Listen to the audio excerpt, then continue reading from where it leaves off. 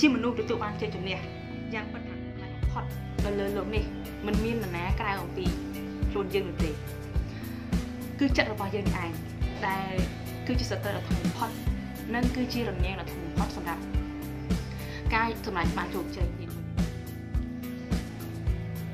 ជម្រាបសួរនិងបានមកពីថ្មីក្នុងការអានសៀវភៅរបស់យើងកាលពីប្រហែលខែមុនខ្ញុំបានលេខសៀវភៅមួយក្បាលដែលមានចំណងជើងថា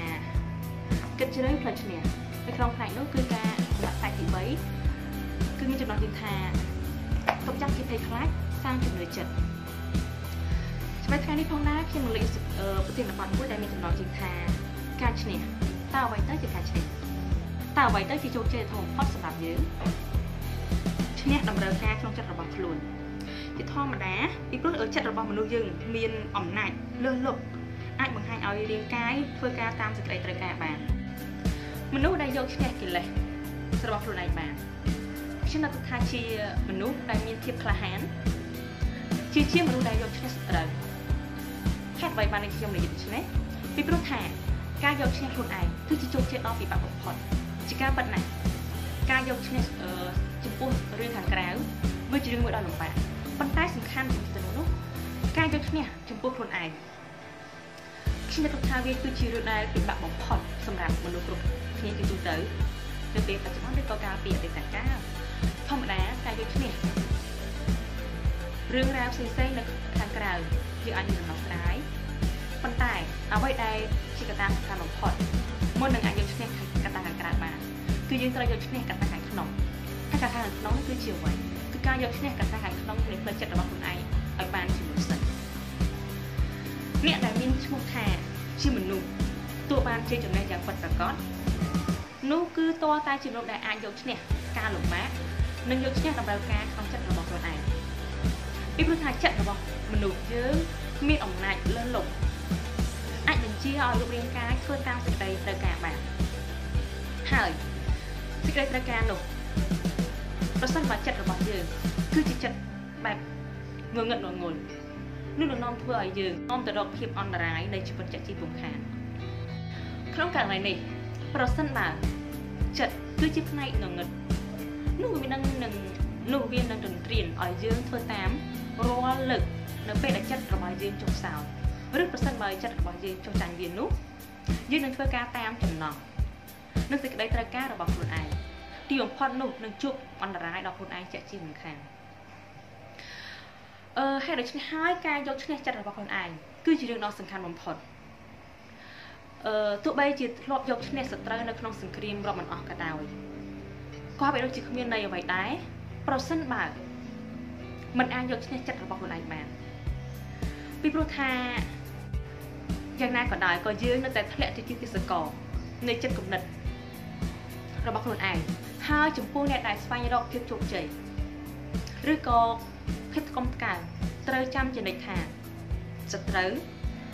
ដល់កំណាច់បំផុតគ្មានអ្នកណាក្រៅអំពីចិត្តរបស់យើងនោះឯង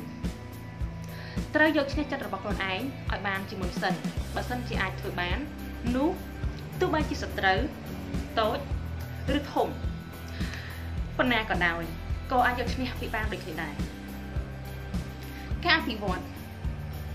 នៅសមត្ថភាពរបស់ខ្លួនឯងគឺជាផ្នែកដ៏ពិសេសនៅក្នុងផ្លូវចិត្តគឺនឹងជួយឲ្យយើងឲ្យមនុស្សយើងអាចមើលឃើញពីការពិតភាពល្អផុសផង់និងអំពើល្អដែលអាចមានសេចក្តី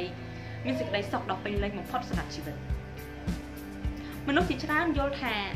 ការសិក្សាជាកត្តាកត្តាជួយបន្ថែមនៅបញ្ញាឲ្យមានភាពវៃឆ្លាត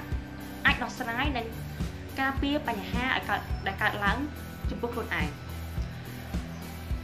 ទទួលបានឲ្យខ្លួនឯងទទួលបានភាពជោគជ័យប៉ុន្តែតែការពិតជាការពិតទៅការសិក្សានៅមានប្រយោជន៍បន្ថែមទៀតផ្នែកផ្លូវចិត្តផងដែរ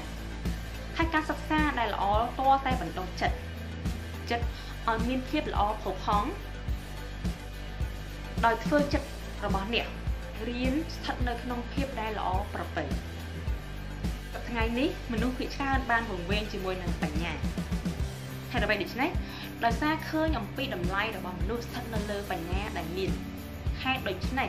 បានជាកើតមានការប្រកួតប្រជែងខាងផ្នែកបញ្ញាកើតឡើងហើយទីបំផុតក៏នាំឲ្យកើតមានការច្របូកច្របល់នៅក្នុងសង្គមដោយសតិបញ្ញាដែលមានមិនយកមកប្រើប្រាស់ឲ្យជាប្រយោជន៍ប៉ុន្តែបែរជាយកបំផ្លិចបំផ្លាញគ្នាដោយមិនចេះចប់មិនចេះហើយទៅវិញជាការប៉ុណ្ណាអឺរឿងដែលល្អមនុស្សជាច្រើនមិនសូវបានចាប់អារម្មណ៍ ប៉ុន្តែភាពមិនល្អឬការអឺធ្វើឲ្យសង្គមច្របូកច្របល់មនុស្សតែងតែចូលចិត្តបង្ហាញឬក៏តែងតែគ្រប់គ្រងដោយហេតុដោយហេតុមួយផ្សេងផ្សេងតាមរយៈការអឺការ like ការ share ឬការរិះគន់តែថាគិតប៉ັດការរិះគន់ទាំងអស់នោះបានធ្វើឲ្យអ្នកដែលព្យាយាមធ្វើនៅទង្វើមិនល្អនោះមានអារម្មណ៍ថាការការធ្វើទង្វើមិនល្អត្រូវបានគេគ្រប់គ្រង ហើយគេក៏នឹងព្យាយាមធ្វើនៅរឿងដែលមិនល្អបន្ថែមទៀតដើម្បីទទួលបានការគ្រប់គ្រងពីសំណាក់អ្នកដែលរិះគន់ទាំងអស់នោះផ្ទុយទៅវិញប្រសិនបើជាមនុស្សមនុស្សនោះមានភាពល្អប្រពៃជាគោលគេនឹងមើលឃើញជាការការប៉ັດអំពើល្អនិងភាពផូរផង់ព្រមទាំងយកយល់អំពីកត្តាទាំងអស់នេះយ៉ាងច្បាស់ដោយដឹងពីការប៉ັດថាជីវិតមនុស្សយើងមិនត្រូវការត្រូវការសតិបញ្ញាបន្សំជីវិតនោះឡើយវាគ្រាន់តែជាឧបករណ៍ទ្រទ្រង់ជីវិត តែប៉ុណ្ណោះហើយភាពល្អថ្លៃថ្លាកើតនៅក្នុងចិត្តទៅវិញទេ ដែលអាចបន្សំជីវិតឲ្យមានភាពថ្លៃថ្លា និងមានភាពពេញលេញបានកត្តាដែលសំខាន់គឺយើងត្រូវយកឈ្នះលើចិត្តសត្រូវធំផុតរបស់យើងគឺចិត្តរបស់យើងជោគជ័យដ៏ធំផុតគឺការយកឈ្នះលើចិត្តកំណត់របស់ខ្លួនឯងស្វែងយល់បន្ថែមអំពីចិត្តកំណត់របស់ខ្លួនយល់សិក្សាបន្ថែមឲ្យបានច្បាស់អំពី